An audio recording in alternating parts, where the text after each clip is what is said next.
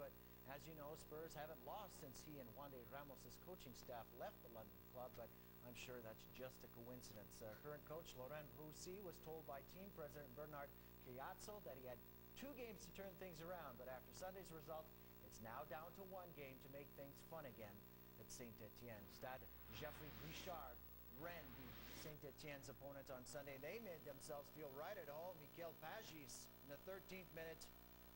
And Rennes came into this one with just one loss on the season.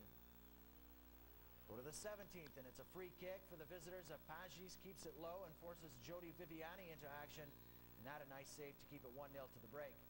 Second half, Elderson Echiejile with the cross, and Jeremy Leroy puts it on, and Viviani smacks that one out. Big save in the 50th.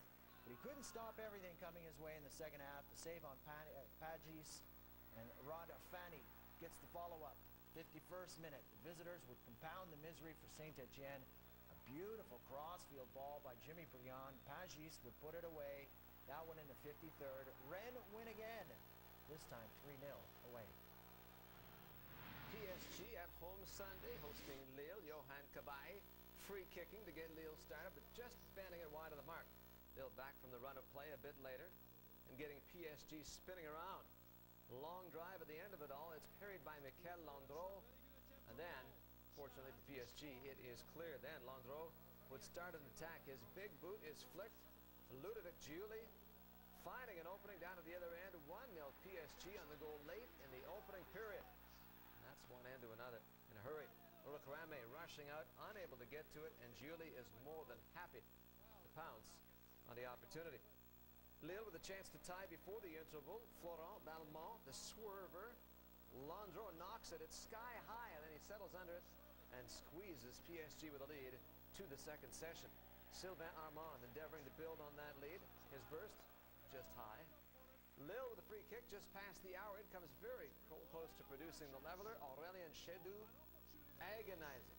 He feels he should have had that. PSG had won. That's all they needed for the full points.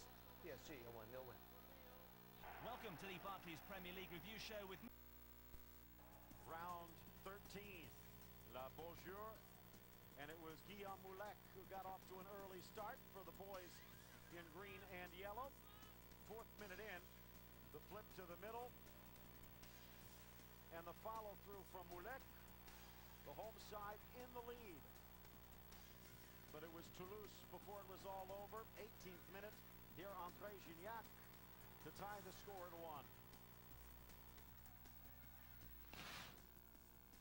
Lyon going for their eighth league title in a row now have a four-point lead at the top. They win again, only one loss on the season. Fred with your game winner in the 54th minute of the game.